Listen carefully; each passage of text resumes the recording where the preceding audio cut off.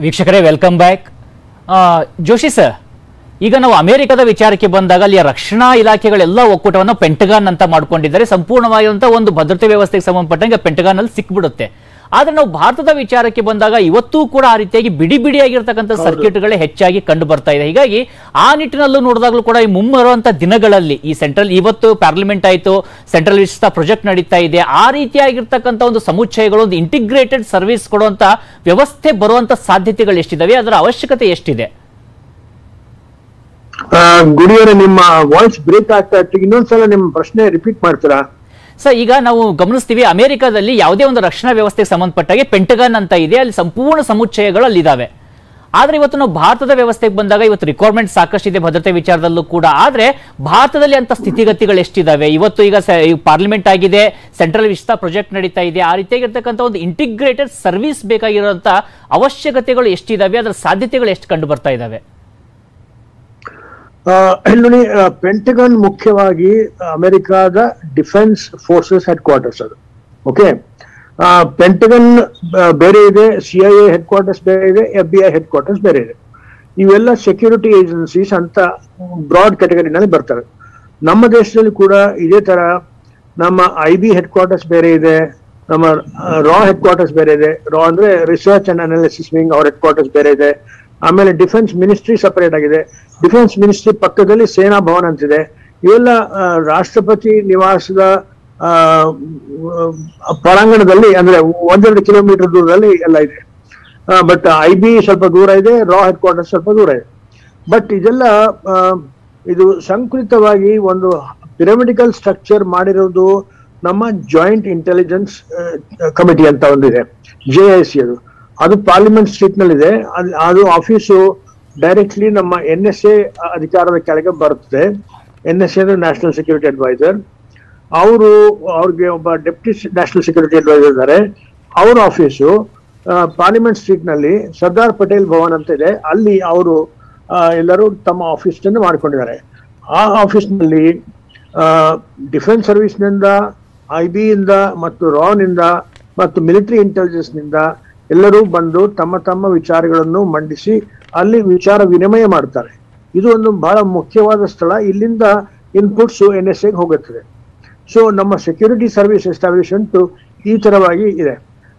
So Pentagon is not the right example but we have every country has different headquarters like Russia has a K G B headquarters which is different from its defence headquarters similarly we have our defence we have our internal security agency internal security agency ಅಂದ್ರೆ I B external security agency ಅಂದ್ರೆ ರಾ so ಆಮೇಲೆ military intelligence ಅವರೆಲ್ಲ military intelligence headquarters ಸೇನಾ ಭವನದಲ್ಲಿದೆ. Defence office ಎಲ್ಲ ಜಾಸ್ತಿಯಾಗಿ ಸೇನಾ ಭವನದಲ್ಲಿದೆ. ಸೊ ಇದು ಈ ತರ ನಾವು ಇದು ಬೇರೆ ಬೇರೆ ಕಡೆಯಲ್ಲಿ ಇದ್ದೀವಿ ನಾವು, ಡೆಲ್ಲಿಯಲ್ಲಿ. ಸೊ ಬಟ್ ಇದೆಲ್ಲ ಒಕ್ಕೂಟವಾಗಿ ಬರೋದು ಜಾಯಿಂಟ್ ಇಂಟೆಲಿಜೆನ್ಸ್ ಕಮಿಟಿ ಆಫೀಸ್ನಲ್ಲಿ ಓಕೆ ಸೋಂದಾ ಸರ್ ಇಲ್ಲಿ ಪ್ರಮುಖವಾಗಿ ಕಾಡ್ತಾ ಇರುವಂತ ಪ್ರಶ್ನೆ ಏನ್ ಗೊತ್ತಾ? ಸೆಂಗೋಲ್ ವಿಚಾರಕ್ಕೆ ಸಂಬಂಧಪಟ್ಟಂತೆ. ಅದು ವಾಕಿಂಗ್ ಸ್ಟಿಕ್ ಆಗಿತ್ತು ನೆಹರು ಅವರಿಗೆ ಅನ್ನುವಂತ ಚರ್ಚೆಗಳು ನಡೀತಾ ಇದೆ. ಇಲ್ಲಿ ಎರಡ್ ಸಾವಿರದ ಇಪ್ಪತ್ತೊಂದರ ಸಂದರ್ಭದಲ್ಲಿ ಪ್ರಮುಖವಾಗಿ ಗುರುಮೂರ್ತಿ ಅವರು ಒಂದು ಪತ್ರಿಕೆಯಲ್ಲಿ ಲೇಖನವನ್ನ ಬರೆದಂತ ಟೈಮ್ನಲ್ಲಿ ಗೊತ್ತಾಗಿದ್ದು. ಈ ರೀತಿಯಾದಂತ ಒಂದು ಇತಿಹಾಸ ಇದೆ. ಮಹತ್ವ ಇತ್ತು ರಾಜದಂಡಕ್ಕೆ. ಈ ಅಧಿಕಾರ ಹಸ್ತಾಂತರ ಆಗುವಂತ ಸಂದರ್ಭದಲ್ಲಿ ನೆಹರು ಅವರಿಗೆ ಮೌಂಟ್ ಬ್ಯಾಟನ್ ಅವರು ಕೊಟ್ಟಿದಂತ ವಿಚಾರ ಚರ್ಚೆ ಆಗ್ತಾ ಇರುವುದು. ಈ ಇತಿಹಾಸದ ಬಗ್ಗೆ ಒಂದು ಸ್ವಲ್ಪ ತಿಳಿಸ್ಕೊಡಿ ಸರ್. ಈಗ ಯಾಕೆಂದ್ರೆ ರಾಹುಲ್ ಗಾಂಧಿ ಅವರು ಸೇರಿದಂತೆ ಕಾಂಗ್ರೆಸ್ನವರ ವಾದ ಅಂದ್ರೆ ಇದೆಲ್ಲವೂ ಕೂಡ ಬೋಗಸ್ ಅಂತ. ಹೇಳ್ಬೇಕಂದ್ರೆ ಮೊದಲು ನಿಮ್ಮ ನಿಮ್ಮ ಇದೇ ಪ್ಯಾನೆಲ್ನಲ್ಲಿ ಇತಿಹಾಸಕಾರರಿದ್ದಾರಲ್ಲ, ಅವರು ಹೇಳಿದ ಒಂದು ಮಾತು ಇವತ್ತಿನ ಹೋಮ ಪಾಠ ಪೂಜೆ ಎಲ್ಲ ಆಯ್ತಲ್ಲ ಇದು ಸಂವಿಧಾನದಲ್ಲಿ. ಅದು ಸಂಸತ್ ಭವನದಲ್ಲಿ.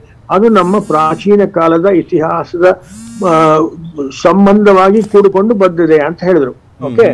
ಅದು ಬಟ್ ಅವ್ರ ಹತ್ರ ನಾನು ಒಂದು ವಿಷಯ ಹೇಳಬೇಕು. ನಮ್ಮ ಪ್ರಾಚೀನ ಇತಿಹಾಸದಲ್ಲಿ ಸಂಸದ್ ಅಥವಾ ಒಂದು ಲೋಕಸಭೆ ಅನ್ನುವ ಒಂದು ವಿಕಲ್ಪನೆ ಇದ್ದೇ ಇಲ್ಲ. ಅವಾಗ ಇದ್ದದ್ದು ಕೇವಲ ರಾಜರು ಮತ್ತೆ ರಾಜ ಪುರೋಹಿತರು ಈಗ ರಾಜರು ಮತ್ತು ರಾಜ ಪುರೋಹಿತರು ಕೂಡ್ಕೊಂಡು ಪೂಜೆ ಮಾಡ್ತಾ ಇದ್ರು. ಅದು ಮುಖ್ಯವಾಗಿ ಪೂಜೆ ಮಾಡೋದು ಯಾವಾಗ? ರಾಜರು ಯುದ್ಧಕ್ಕೆ ಹೋಗುವಾಗ ಅಥವಾ ರಾಜರು ತಮ್ಮ ಸಾಮ್ರಾಜ್ಯವನ್ನು ಬೆಳೆಸ್ಕೊಳ್ಳುವಾಗ ಒಂದು ಅಶ್ವಮೇಧ ಯಾಗ- ಅಂತ ಮಾಡ್ತಾ ಇದ್ರು. ಆವಾಗ ಇದು ಪೂಜೆ ಪಾಠಗಳು ಹೋಮಗಳನ್ನೆಲ್ಲ ಇದ್ರು. ಅದು ಕೇವಲ ನಮ್ಮಲ್ಲಿ ಒಂದು ಡ್ಯುಯಲ್ ಅಥಾರಿಟಿ ಕುತ್ಕೊಂಡು ಬಂತು. ಬ್ರಾಹ್ಮಣ ಮತ್ತು ರಾಜ ಕ್ಷತ್ರಿಯ. ಈ ಬ್ರಾಹ್ಮಣ ರಾಜ ಪುರೋಹಿತನಾಗಿದ್ದ ಕ್ಷತ್ರಿಯ ರಾಜನಾಗಿದ್ದ. ಸೊ ಈ ತರ ನಮ್ದು ಇತಿಹಾಸದಲ್ಲಿ ಕಂಡು ಬರುತ್ತೆ ನಮ್ಮ ಇತಿಹಾಸದಲ್ಲಿ ಗಣತಂತ್ರ ಅನ್ನೋದು ಬರೋದು ಕೇವಲ ಬುದ್ಧಿಸ್ಟ್ ಪೀರಿಯಡ್ನಲ್ಲಿ ಬರ್ತದೆ. ಅದು between to third century B C and first century AD Buddhist ಪೀರಿಯಡ್ನಲ್ಲಿ ಗಣತಂತ್ರ ಅಂತ ಒಂದು ಪ್ರಬಲವಾಗಿ ಮೂವ್ಮೆಂಟ್ ಶುರು ಆಗುತ್ತದೆ ಬಟ್ ಆ ಗಣತಂತ್ರದಲ್ಲಿ ಅವರು ಹೇಗೆ ಗಣ ಗಣಗಳನ್ನ ಗಣಗಳ ಮುಖ್ಯಗಳನ್ನ ಹೇಗೆ ಆಯ್ಕೆ ಮಾಡ್ತಾ ಇದ್ರು ಅವ್ರನ್ನ ಹೇಗೆ ಚೂಸ್ ಮಾಡ್ತಾ ಇದ್ರು ಅನ್ನೋದು ನಮ್ಮ ಇತಿಹಾಸದಲ್ಲಿ ಸರಿಯಾಗಿ ಬಂದು ಕಾಣುವುದಿಲ್ಲ. ಅದಕ್ಕೋಸ್ಕರ ನಮ್ಮ ಇತಿಹಾಸದಲ್ಲಿ ಪ್ರಜಾಪ್ರಭುತ್ವ ಅನ್ನು ಬರೋದು ಕೇವಲ ನೈನ್ಟೀನ್ ಫಾರ್ಟಿ ಸೆವೆನ್ ನಮ್ಮ ಸ್ವತಂತ್ರ ಆದ್ಮೇಲೆ ಮಾತ್ರ ಬರುದು. ಪ್ರಜಾಪ್ರಭುತ್ವ ಬಂದ್ರೆ ಆವಾಗ ನಮ್ಮ parliament becomes a very important institution of sharing power with the executive so so ಈಗ ನೆಹರು ನಮ್ಮ ಪ್ರಪ್ರಥಮ ಪ್ರಧಾನಮಂತ್ರಿ ಆಗಿ ಪ್ರಧಾನಮಂತ್ರಿಯಾಗಿ ಆದಾಗ ಇವ್ರಿಗೆ ಒಂದು ಸೆಂಗೋಲ್ ಕೊಟ್ರು. ಈ ತಮಿಳುನಾಡಿನಲ್ಲಿ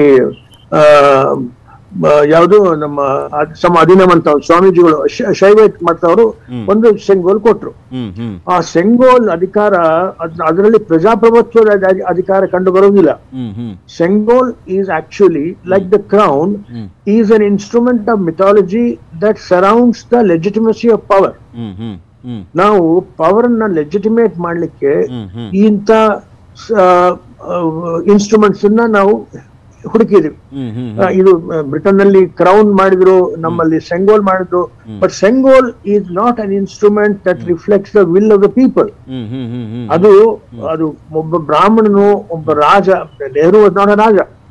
ನೆಹರುಗೆ ಅವ್ರು ಕೊಟ್ರು. ಅವ್ರು ನೆಹರು ಅದನ್ನ ವಾಕಿಂಗ್ ಸ್ಟಿಕ್ ಅಂತ ಇಟ್ಟರು ಅಥವಾ ತಮ್ಮ ಅಲಹಾಬಾದ್ ಮ್ಯೂಸಿಯಂ ನಲ್ಲಿ ಇಟ್ಟರು ಅದು ಬೇರೆ ಮಾತು.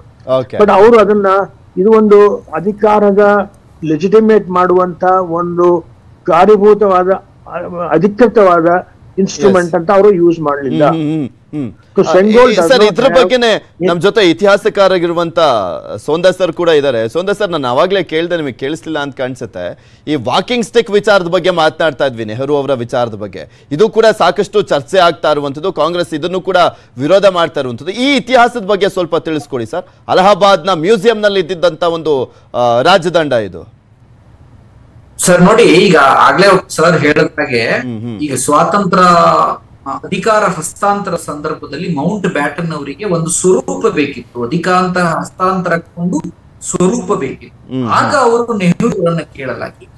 ನೆಹರೂರವರಿಗೂ ಅದು ಅರಿವಿಲ್ಲದ ಕಾರಣ ರಾಜಗೋಪಾಲಾಚಾರ್ಯ ರಾಜಗೋಪಾಲಾಚಾರ್ಯಕ್ಕೂ ಆ ಬಗ್ಗೆ ಸ್ಪಷ್ಟತೆ ಇರುತ್ತ ಹಿನ್ನೆಲೆಯಲ್ಲಿ ಅವರು ತಮಿಳಿನ ಒಬ್ಬ ವಿದ್ವಾಂಸರಾದ ಅಧೀನಂ ಅವರ ಬಳಿ ಕೇಳ್ತಾರೆ. ಅಧೀನಂ ಅವರು ಅದರ ಬಗ್ಗೆ ಸಂಶೋಧನೆ ಮಾಡಿದಾಗ ಚೋಳರ ಕಾಲದಲ್ಲಿ ಇಂಥದ್ದೊಂದು ರಾಜದಂಡವನ್ನ ಅಧಿಕಾರ ಹಸ್ತಾಂತರದಲ್ಲಿ ಕೊಡುವ ಪದ್ಧತಿ ಇತ್ತು ಹೇಳುವುದನ್ನ ಕಂಡುಕೊಂಡು ಅದೇ ರೀತಿಯ ಮತ್ತೊಂದು ಈ ರಾಜದಂಡವನ್ನ ಅದೇ ಸ್ವರೂಪದಲ್ಲಿ ಮಾಡಿಸಿ ಆ ನಂತರ ಅದರ ಅಧಿಕಾರ ಹಸ್ತಾಂತರ ಆಯ್ತು.